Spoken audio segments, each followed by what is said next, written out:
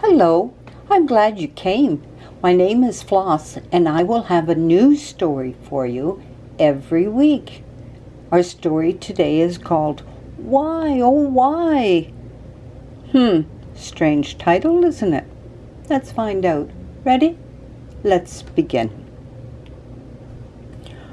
Why, oh why?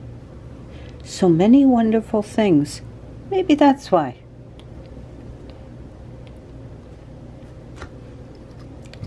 Why, oh, why do I have to get up in the morning? I really want to lay here just snoring. Why, oh, why can't I lay here and sleep like a big lump, all in a heap? Good morning, good morning. Time to rise and shine. This day is really wonderful, just fine. Let's get up out of our bed that's warm and cozy.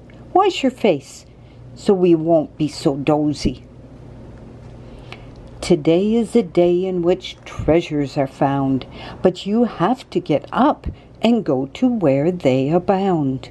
In each moment of this your glorious new day, you'll find these treasures as you walk your way. Why, oh, why would you want to miss out? The fun is getting up and becoming a scout searching for the treasures that will come your way.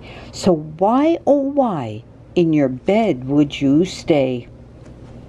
Why, oh why, would you want to stay and sleep?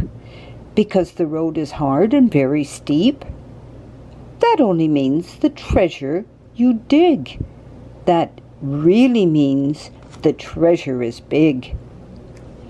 Why, oh, why wouldn't you want to get up and fill your treasure chest cup after cup?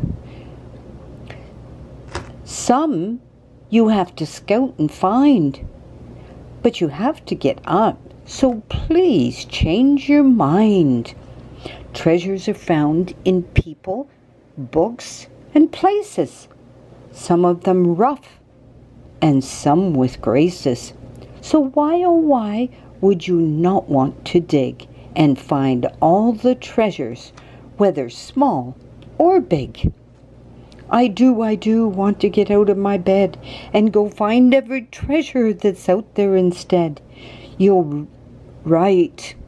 Why, oh, why would I want to stay here snoring? That really is a waste and very boring. I want to get up out of my bed and find all the treasures to put dreams in my head. Let me get going. I can't waste any time. I want to find every last treasure that was meant to be mine. All the gems. Oh, they're like jewels and gems. That's neat. How did you like this story? Thanks for joining me. Until next time, bye for now.